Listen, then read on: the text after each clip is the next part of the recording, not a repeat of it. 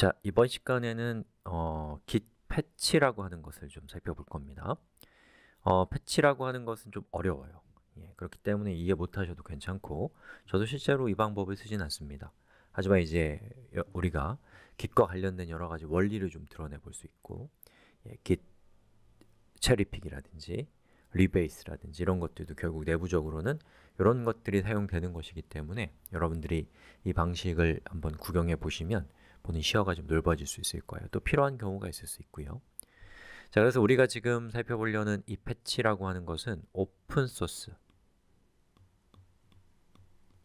오픈 소스 방식으로 프로젝트를 할 때 필요한 것이라고도 할 수 있어요. 자, 여기에 어, 원격 저장소가 있습니다. 그리고 여기에 이제 나의 나의 지역 저장소가 있어서 이 원격 저장소가 내 거예요. 그러면 푸시할 수 있죠. 풀도 할 수 있고요. 그런데 누군가가 나의 프로젝트에 관심이 생겼어요. 예. 다른 아더, 아더라고 합시다. 그러면 다른 사람이 이 프로젝트가 오픈소스라고 한다면 당연히 풀을 할 수 있습니다. 오픈소스이기 때문에 하지만 오픈소스라고 하더라도 아무나 이 저장소에 푸시를 할 수는 없다는 것이죠. 그럼 이제 문제가 생기겠죠? 그래서 이제 우리가 지금까지 했던 것은 이 사용자에게 이 저장소에 대한 권한을 주는 거였는데 그 권한을 주지 않고도 이 프로젝트에 참여할 수 있는 방법인데 그게 바로 패치라는 거예요. 그리고 우리가 뒤에서 살펴볼 pull request라고 하는 것도 그런 겁니다. 자, 그거는 뭐냐면 여기 있는 이 권한이 없는 사용자가 이 우리 원격 저장소를 통해서 공개한 프로젝트로 작업을 하다가 자기가 한 게 의미가 있어요. 그래서 이 사람에게 주고 싶다고 한다면 패치라는 걸 만들어서 전달을 해주는 거예요. 그럼 어떻게 돼요? 그 패치를 이 사람의 프로젝트에 적용하는 걸 통해서 예, 이 사람은 어, 정식 멤버가 아닌 사람의 성취를 수용할 수 있게 되는 것이죠. 자, 왼쪽에 있는 A라는 사용자가 이 프로젝트의 오리지널 저자고 오른쪽에 있는 사람이 어, 왼쪽에 있는 사람의 프로젝트에 접근 권한은 없지만 이 프로젝트가 오픈소스이기 때문에 클론을 한 상태라고 생각해 봅시다. 아셨죠? 음. 자, 그럼 이 상태에서 이 오른쪽에 있는 B라는 사용자가 작업을 해요.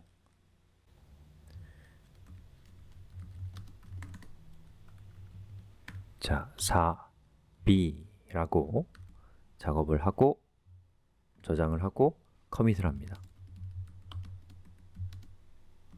work 4B 자, 그 다음에 또 작업을 해요. 5B 이렇게요. commit am work 5b 이런 식으로요. 자, 그렇게 작업을 해서 push를 지금까지 만약 두 사람이 같이 협업자라면 push를 하면 간편하게 되는데 이 오른쪽에 있는 B라는 사용자에게는 그런 권한이 없다. 그럼 어떻게 전달할 수 있느냐? 이제 그게 이제 패치라고 하는- 건데요. 자, git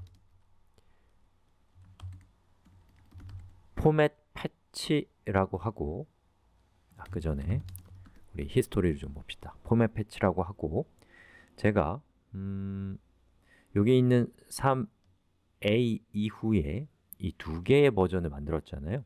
그럼 저 두 개의 버전을 왼쪽에 있는 a라는 사용자에게 전달하고 싶다면 git 패치 git 포맷 패치라고 하고 그리고 마지막으로 작업한 이 버전을 카피해서 마지막으로 작업하 마지막 자, 뭐라고 해야 되나? 아무튼 얘요. 예. 우리가 작업하기 직전의 버전을 선택하고 엔터를 치면 두 개의 파일이 생겨요. 자, 그 중에서 어, 001이라는 것부터 한번 볼까요? 자, 보시는 것처럼 4a라고 하는 차이점이 들어가 있어요. 그리고 여기 보면은 a 어, work.txt라고 하는 파일을 수정했다 라고 이렇게 적혀 있고요. 그리고 이게 누가 작업했는지도 적혀 있습니다. 언제 작업했는지도 적혀 있고요. 자, 그 다음에 마찬가지로 이번에는 이렇게 해서 확인을 해보면 이 두 번째 작업했던 OB가 이렇게 나오는 것을 볼 수가 있어요. 됐죠? 즉, 지금 생성된 이 패치라는 확장자를 가지고 있는 파일들은 음, 각각의 버전 간의 차이점을 나타냅니다. 그리고 저 차이점을 우리가 왼쪽에 있는 사람에게 보내주면 돼요. 이메일이라든지 게시판이라든지 이런 식으로요.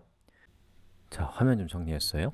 자, 저는 어, 사실은 같은 컴퓨터에서 지금 테스트를 하고 있는 거기 때문에 수업을 만들고 있기 때문에 이 왼쪽에 있는 컴퓨터, 왼쪽에 있는 디렉토리로 오른쪽에 있는 디렉토리의 패치 파일을 예, 카피할 거예요.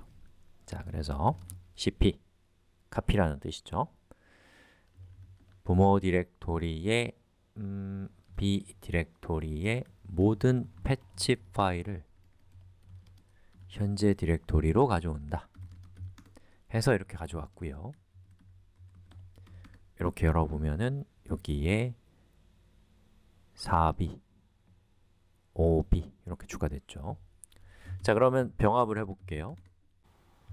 자, 우선 오른쪽에 작업한 내용은 이 부분이 추가됐고 왼쪽에는 현재 이것이 최신이에요. 오른쪽 상에서는 요거죠. 자, 병합합시다. AM이라고 하는 어, 것을 씁니다. apply 뭐 메일 박스인가? 아무튼 그거의 약자일 거예요. 그래서 우리가 만든 그 패치 파일이 메일박스라는 형식의 포맷이에요. 이메일에 이메일을 저장하는 일종의 표준 같은 건데 그, 그 안에 이제 패치 내용이 들어가 있는 거라고 보시면 되겠습니다. 자, git am이라고 하고 우리가 적용하고 싶은 파, 패치 파일을 하나씩 할 거면 직접 이름을 정해 주시면 되고요. 그냥 일괄로 하고 싶다면 패치라고 이렇게 하시면 순서대로 적용이 될 겁니다. 자, 그리고 이렇게 하면 되는데 여기서 여러분이 조금 더 지능적으로 적용을 하, 도록 하려면 마이너스 3, 3way 머지를 이용하도록 하는 거예요. 그러면 더 어, 자동으로 더 많은 것들을 해주죠. 충돌이 적어지는 거예요. 그 다음에 그 패치 하나를 적용할 때마다 여러분에게 어떻게 할 것인지를 물어보게 하는 interactive 모드가 마이너스 i입니다. 엔터 치면 보시는 것처럼 4b work 4b 요거죠. 요것을 이 버전의 자식 버전으로 만들 것이냐 라는 뜻이에요. 그럼 여기서 여러분이 마이너스 여기에 v를 선택하면 현재 내용을 볼 수 있어요. 아, 4b를 추가하는 거구나. 그 상태에서 y 누르면 그러면 저 내용이 어, 여러분의 그 working copy에 적용되고 commit까지 자동으로 되는 거예요. 했더니 이제 5b를 적용할 것입니까? 라고 물어보잖아요. 그럼 여러분이 음, OB나 할 거야 하면 while 누르면 되고요. 만약에 커밋 메시지를 바꾸고 싶다.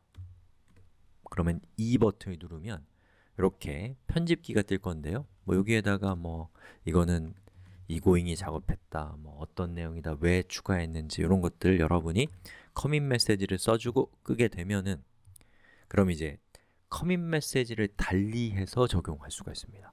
자, y를 눌러서 commit.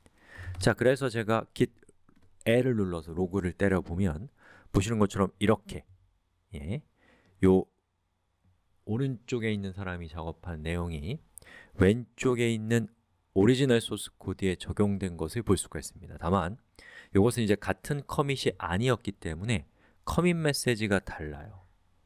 commit 아이디가 달라요. 예.